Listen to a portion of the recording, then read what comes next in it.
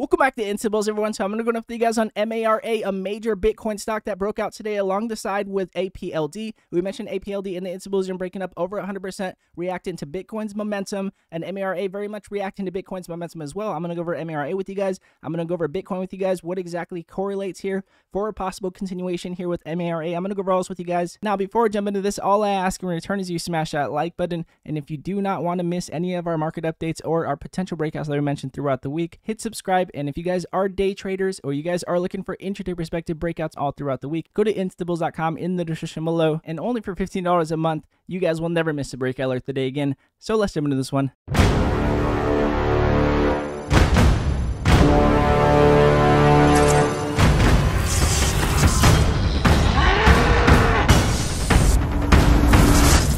So jumping into MARA with you guys, I'm going to go over the five minute chart real quick, and then I'm going to go over the daily chart so you guys can see the larger time frames, what exactly has the larger emotional reaction points that we will be looking to see if we can continue on higher from. As you guys can see on the five minute chart, we did have this continuation today. We did have consolidation midday. We were looking to see if we can continue. We did have our EMA lines holding above the median of our MACD, and we did have that continuation. We did not alert this one in the InstaBulls room. We did mention this yesterday on our daily watch list, but we did not mention this one. We mentioned APLD in replacement as the Bitcoin runner of the day, breaking up over 100% percent on the day. But again, a very nice breakout here with MARA as well. As you guys can see, we had our main lines that did cross back above after we did have consolidation breaking into higher highs here on our buy pressure, showing us that increase in momentum to the upside. But as you guys can see, our EMA lines are curling down towards the end of the day. So our question will be if we do hold, if we do break into higher highs here to continue on higher, if we do get that confirmation breaking into tomorrow in pre-market, or if we are going to continue on lower, drop below our EMA line to continue on lower and possibly get that rejection. And again, very much predicated on Bitcoin, as you guys can see here on Bitcoin.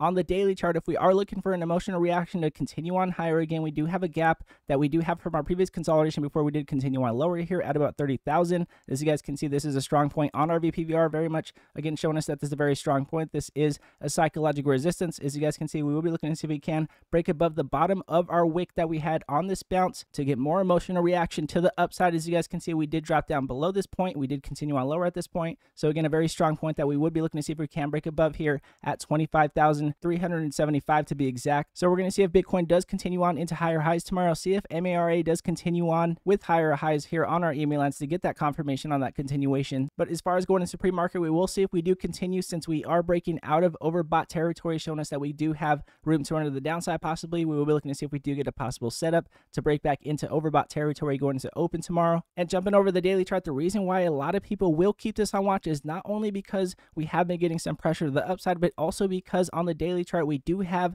our EMA lines that are just crossing above the median of our MACD. If that does continue, and we do continue on with buy pressure, breaking above our previous buy pressure points, we can see a lot of momentum possibly continuing on higher here. So we'll see if MARA does continue. If we do continue on with buy pressure, we very much do want to see if our EMA lines do both get above our median of our MACD to see if we can continue on higher here. But again, very much predicated on what Bitcoin does. If we do break over that 25,375 point, or if we do get that rejection leading into FOMC Fed rate hikes next Wednesday, we'll see exactly what happens here. If we do get confirmation on MARA, we will mention this in the InstaBulls room. But however, if we see a better Bitcoin stock that is running, for example, like APLD, then we will mention that instead of MARA, of course. Now, again, with that said, guys, if you guys are looking for intraday perspective breakouts, breakouts that we mention every single day throughout the week, go to instabulls.com in the description below, and you will never miss a breakout alert today again. And all of you instables that come over every single day and support the channel, I appreciate every one of you guys. We're going to continue to go at it. Stay patient, take what the market gives us. Again, very patient day today, but very nice breakouts today. So we're going to continue to take what the market gives us and continue to stay patient. And again, if you guys do like this video, it does help the channel grow, and I do appreciate it very much. And again, God bless you all, and I'll see you guys in pre-market.